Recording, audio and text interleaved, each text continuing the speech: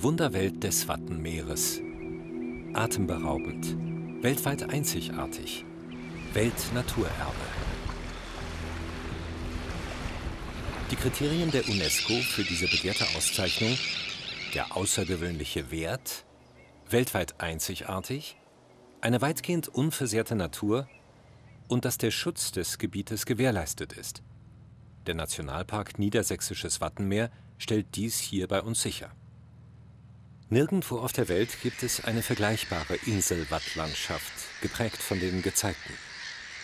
Entstanden ist dieses junge und dynamische Land erst vor 10.000 Jahren, nach der letzten Eiszeit.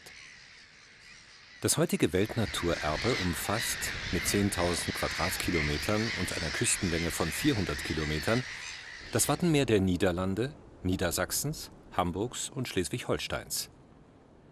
Der Nationalpark Niedersächsisches Wattenmeer bildet den zentralen Teil.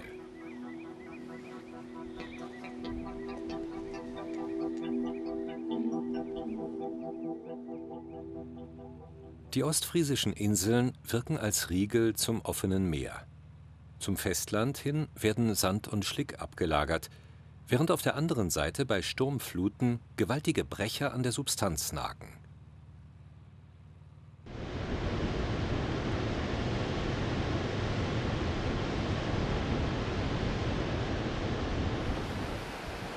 Stürme verfrachten gewaltige Mengen Sand in das Innere der Insel. Hier ist alles in Bewegung, in Fluss. Dünen entstehen und werden vom Sturm verweht. Ebbe und Flut prägen das Watt. Das bedeutet, im Sechs-Stunden-Wechsel läuft das Wasser über Priele und Rinnen ab. Fällt der Meeresboden trocken. Und wird wieder von den Wassermassen überspült, wird wieder zu einem wilden Meer.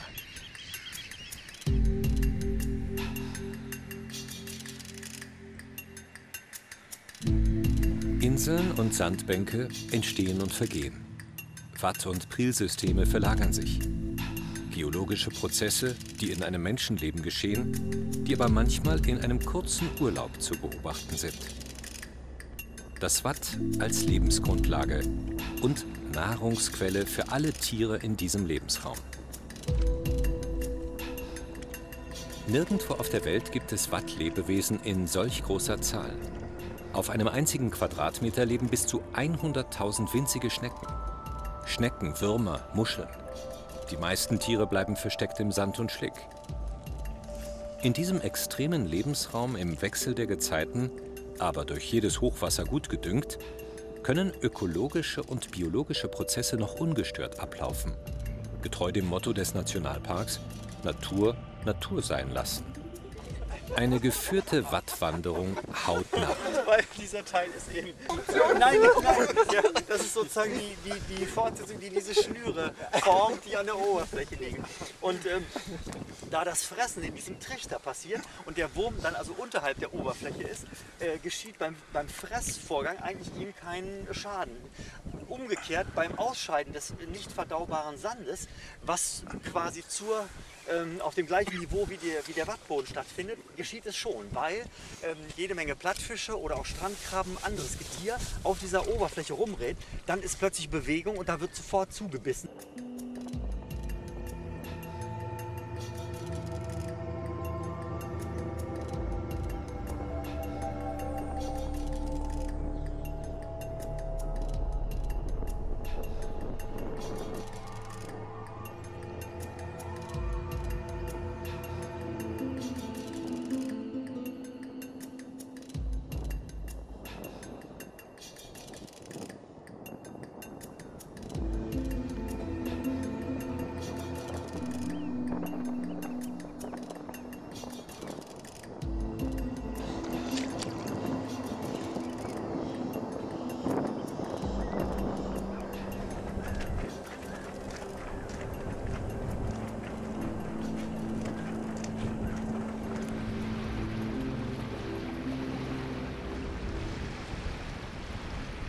Seehunde und Kegelrobben sind im Nationalpark gut geschützt.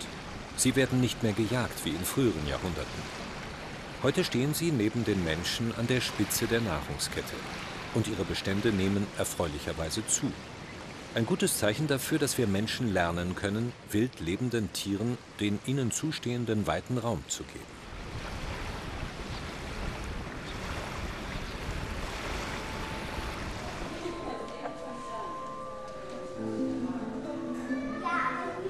Ein Besuch in Nationalparkhäusern und Welterbezentren ergänzt das Erlebte.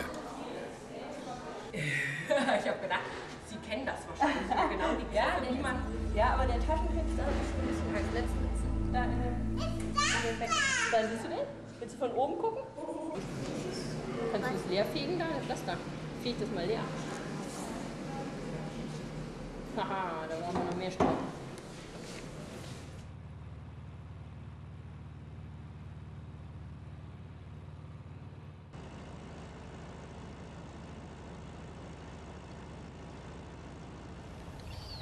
Zugvögel im Nationalpark. Nirgendwo auf der Welt gibt es eine solche Artenvielfalt der Wattenmeer-typischen Tiere und Pflanzen. 10.000 Arten sind für die Lebensräume des Wattenmeeres bekannt. Das schier unendliche Nahrungsangebot des Watts zieht auch Millionen von Zugvögeln magisch an. 10 bis 12 Millionen werden jeden Herbst gezählt, die hier Zwischenrast einlegen, auf ihrem langen Weg von Ostsibirien und Kanada bis nach Südeuropa und Afrika. Drehscheibe des Vogelzugs ist das Wattenmeer von weltweiter Bedeutung.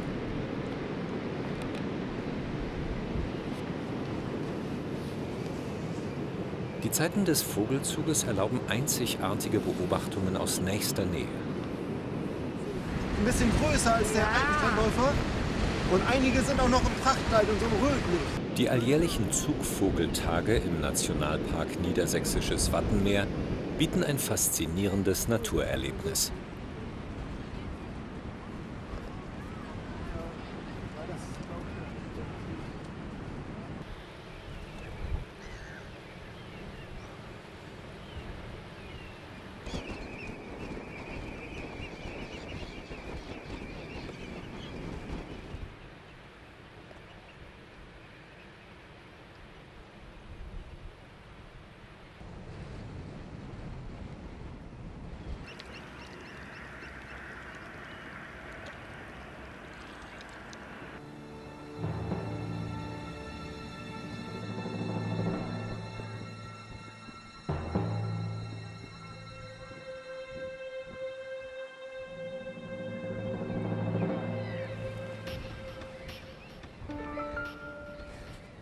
Sechs Monate später.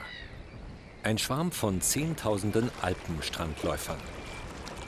Das Wunder Vogelzug wiederholt sich in jedem Frühjahr. In umgekehrter Richtung. In die Brutgebiete, weit nördlich des Polarkreises. Einige Arten bleiben aber auch im Nationalpark, um hier ihre Jungen aufzuziehen.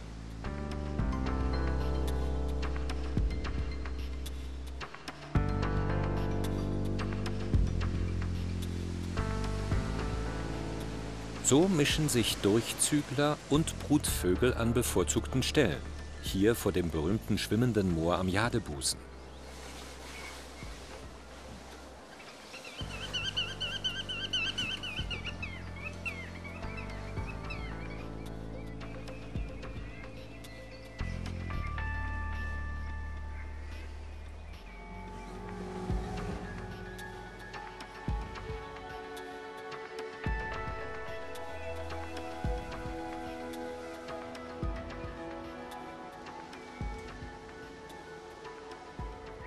Dunkle Wasserläufer bei einer ausgiebigen Rast und gleichzeitig viele verschiedene Brutvogelarten.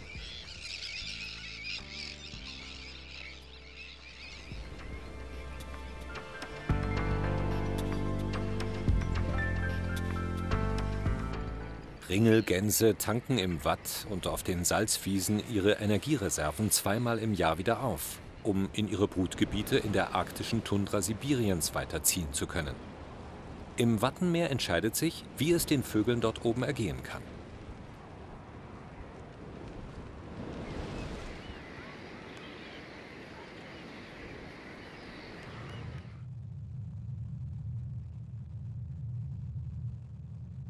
Die Inseln, der zentrale herausragende Teil des Nationalparks. Land aus Sand.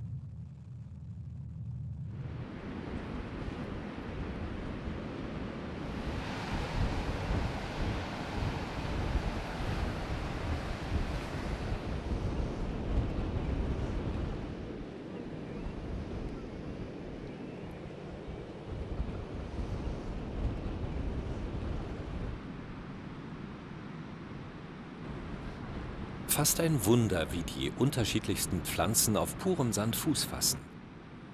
Am Strand und in den Weiten der Dünenlandschaften.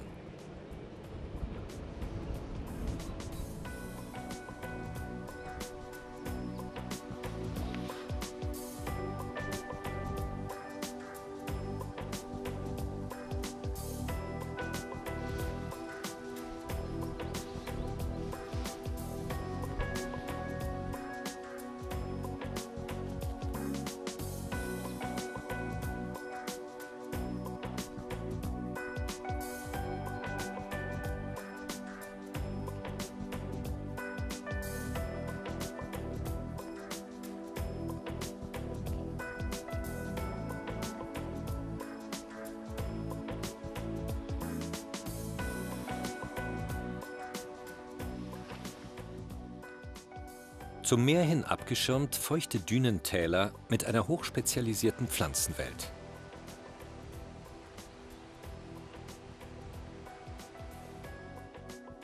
Dünenhänge, oft mit Flechten und Moosen bewachsen.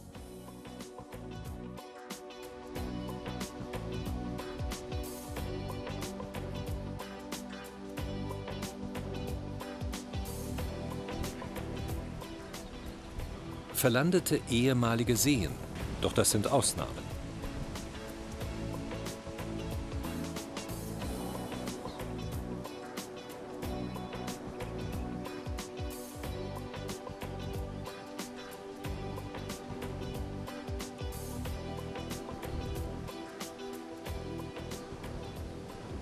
Für Bodenbrüter wie Austernfischer und Uferschnepfe sind die extensiv bewirtschafteten Weiden der Poldergebiete auf den ostfriesischen Inseln ein guter Lebensraum.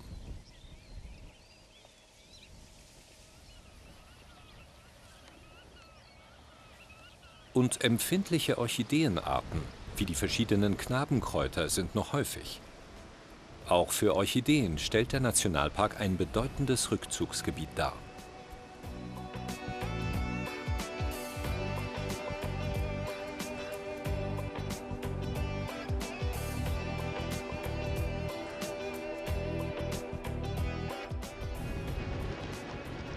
Rinder halten die Polderflächen für Wiesen, Vögel und gefährdete Pflanzen frei und verhindern die Verbuschung der Landschaft innerhalb der Deiche. Kunstdünger und Chemie sind tabu. Hier lassen sich noch Uferschnepfe, Kiebitze und Austernfischer gleichzeitig entdecken.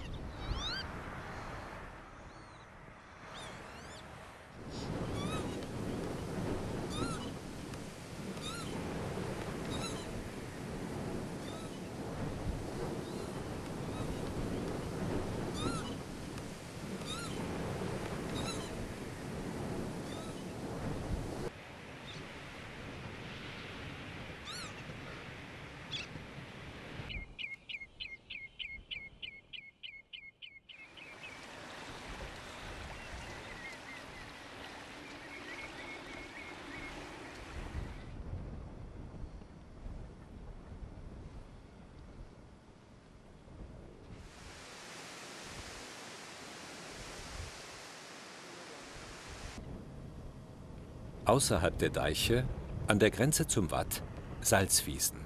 Eine ganz eigene Welt, urig, Natur pur, absolute Ruheräume.